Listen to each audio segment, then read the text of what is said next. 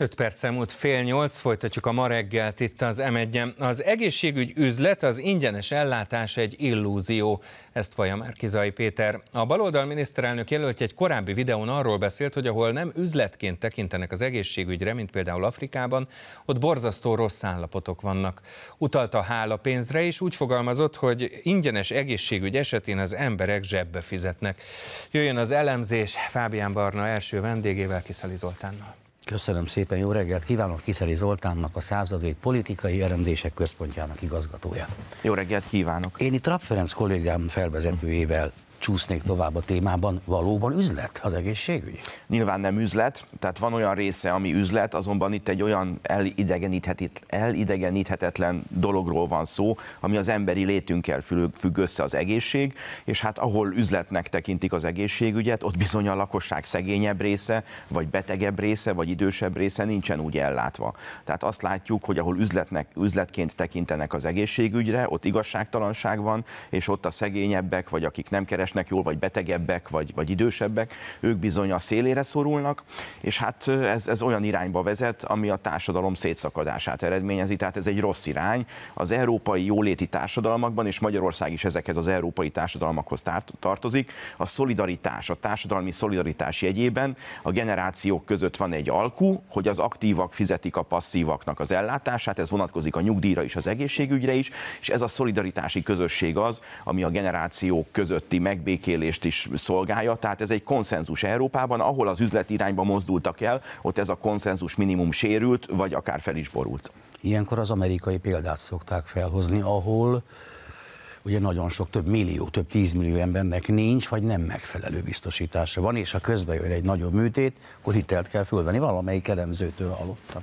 Hogy hát, ahol piaci alapon működik, ott megnézik az embernek az egészségi állapotát. Ugye Amerikában ezt a pre-existing pre conditionnek hívják. Ha már valakinek korábban volt egy betegsége, akkor már csak egy felárral kötnek biztosítást vele. Ez olyan, mint 2010 előtt is egyébként a balliberális kormányok idején, amikor a több biztosítós modellt próbálták bevezetni, akkor is azt mondták, hogy mindenkivel fognak kötni biztosítást. De mondjuk, ha valaki mondjuk 70 év fölötti cukorbeteg vagy szívbeteg, akkor azzal is fognak kötni biztosítást, majd havi 200-300 ezer ezer forintos biztosítási járulékért, amit nem fog tudni kifizetni.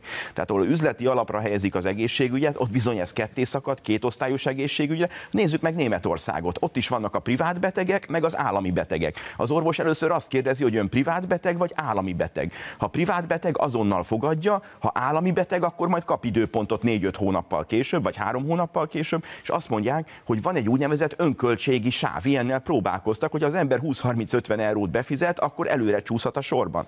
Tehát az állami és a privát egészségügy, ahol ez, ez külön szétszakad, ott bizony ez igazságtalanságokat szül, és a, akik az állami rendszerbe szorulnak, jellemzően a szegények, öregek, betegek, azok bizony rosszabbul járnak, míg egy állami szerepvállalásos rendszerben azért van esély arra, hogy ezeket a diszkrepanciákat az állam kiegyenlítse.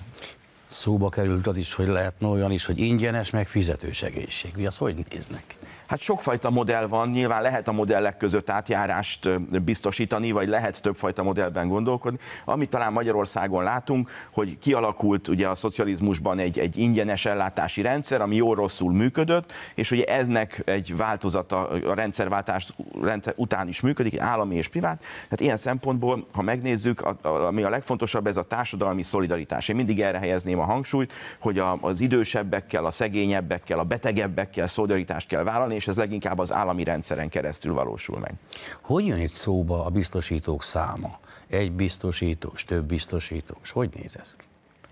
Hát, mert ha megnézzük, nem, tehát az ellenzék a piacot képviseli, mert globalisták azok, akik őket támogatják. Amikor Soros Györgyről beszélünk, a spekulánsokról, akkor ott mindig a tőkéről, a megtérülésről beszélünk. Tehát ahol pénz van, ott mindig van spekuláns is. Tehát ilyen szempontból, hogyha privatizálni akarják az egészségügyet, de Márkizaj Péter mondta, hogy a rezsiköltségeknél is, ugye visszavenni a rezsicsökkentést, és rászabadítaná a világpiaci árakat a magyar családokra, a magyar háztartásokra. És feltétlenül ezt mondják, amikor privatizálásról beszélnek az egészségügyben, akkor is azt mondják, hogy hát rá kell engedni megengedni a piaci viszonyokat, ahogy a, az üzemanyagárnál tennék, ahogy a rezsiköltségek. Aztán persze most már látjuk, hogy a baloldal a plakátjaira azt írja, hogy megtartanák a rezsicsökkentést, de miközben Márkizai Péter azt mondja, hogy visszavenni a rezsicsökkentést, világpiaci árak kellene, a benzinnél nem kellenek szociális szempontok, feltehetően ez érvényesülne az ellenzék, hogyha kormányra kerülne, az egészségbiztosításban, az egészségügyi ellátásban is, amit Márkizai Péter a rezsicsökkentés visszavonására, vagy a világpiaci árakról mond, az egészségügy privatizációja pontosan beleillik ebbe a sorba, az a globalistáknak jók, akik üzletet látnak ebben. De a balliberális kormányok már többször próbálkoztak az egészségügy privatizációjával. Hát olvasom itt, hogy Molnár Lajos, aki ugye a második Gyurcsány kormánynak volt az egészségügyi minisztere, egy vita fórumon kritizálta, idézem, hogy a kórházzal kapcsolatban a profitot gyakran szitok szóként hallja vissza. Igen, tehát ugye a tőke meg a megtérülési szempontokat tart fontosnak. Tehát egy tőkés, egy, egy piaci alapú rendszerben nyilván szükség van profitra. De azzal kezdtük a beszélgetést, az egészségügy az nem egy áru. Az egészség az nem egy áru, hanem az az emberi létünknek a része. És hát ugye az alaptörvény is kimondja, mindenkinek joga van az egészséges élethez, tehát az e, ellátás. Tehát ilyen szempontból az egészségügy, ha csak üzletként tekintenénk rá, akkor valóban oda vezetne, hogy nagyon sokan kiszorulnának ebből, akik ezt nem tudják megfizetni. Ezért van szükség egyfajta szolidaritásra a társadalmon belül, és ezt leginkább az állam tudja biztosítani, ezért van szükség egy ilyen állami rendszerre. És akik ezt felborítják, vagy eltolják a piaci alapú irányba, piaci modell irányába, azok ezt a társadalmi szolidaritást akarják felrúgni. Ez akkor beleillik abba a képbe, amit Markizai Péter a balliberálisok, vagy hát baloldali ellenzék közös miniszterelnök jelöltje mondott, hogy kevesebb vizet kell használni, kevesebb gázt, kevesebb villamot, üljünk kisebb autóba, aztán gyakorlatilag a rezsicsökkentést is visszavonna, a benzinárba sincs szükség semmilyen ugye, szociális kompenzációra, akkor ez is ebbe a sorba illeszthető?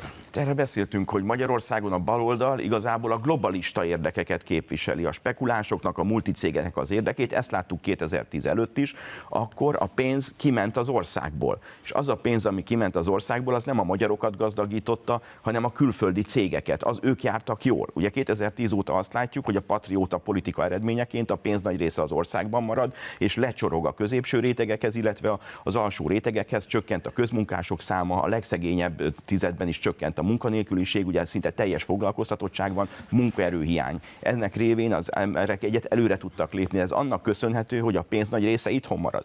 Hogyha az egészségügyben, az energiában áttérnénk a piaci modellre, amit a baloldal akar, hogy a globalistáknak, a spekulánsoknak az érdekét szolgálják ki, akkor a pénz nagy része megint kimenne az országból, és nem minket, magyarokat, magyar családokat, magyar cégeket gazdagítana, hanem megint a külföldieket.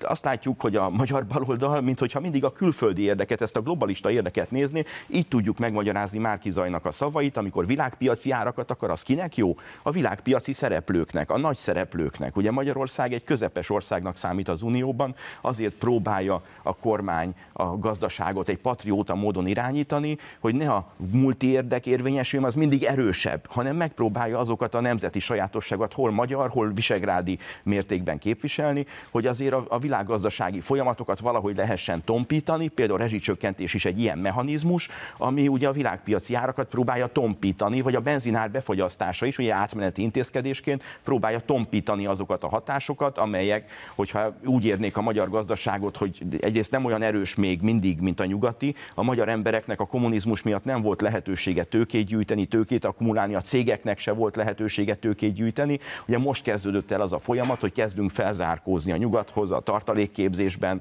a cégeknek ugye a termelésében, és hogyha erre a folyamatra ellenőrzés nélkül, vagy, vagy, folyam, vagy, vagy keményen érkeznének a globalista hatások, onnantól kezdve nyilván ez a magyar cégeket, amelyek még nincsenek annyira, még mindig nincsenek annyira felkészülve, mint a nyugati társaik, ez hátrányosan érinteni. Nem is beszélve a magyar átlagháztartásról, amely még messze nem olyan rendelkezik olyan tőketartalékokkal, mint egy osztrák vagy német háztartás, és ezért is a világpiaci árak magyar, ház, magyar háztartásokra szabadítása, ez egy olyan folyamat lenne, amit nyugaton látunk. Meg kell nézni, mi van Németországban. Az emberek korábban ugye viszonylag jól éltek, most viszont aki nagyvárosban lakik, az már a jövedelmének nem negyedét, hanem lassan harmadát fizeti lakbérekre, mert nagyon elszálltak a lakbérek a nagyvárosokban, és emellé jött az energia, tehát már ott is a jövedelmének nagyobb részét fizeti energiára, és a magas lakbérek plusz a magas energiaköltségek miatt kevesebb jut másra. Tehát azt látjuk, hogy, hogy ezek a folyamatok nyugaton pont ezek a privatizáció meg a világgazdasági folyamatok miatt érvényesülnek.